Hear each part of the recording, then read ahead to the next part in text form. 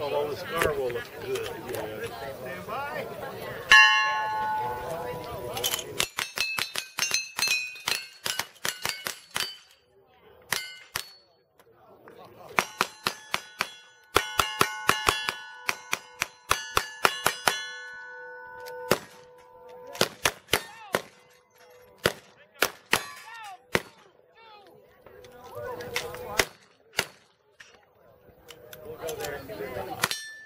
Wait.